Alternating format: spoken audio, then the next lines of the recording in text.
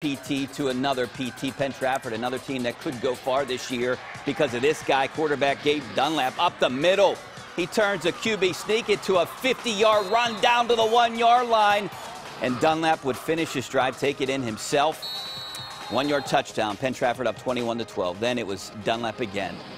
Running this offense, running up the middle, fourth and 12, turns it into a first down for Penn Trafford. That led to this run by Brad Ford cuts to the outside, and he's gone into the end zone. 20 yard touchdown. Penn Trafford wins 29 to 12.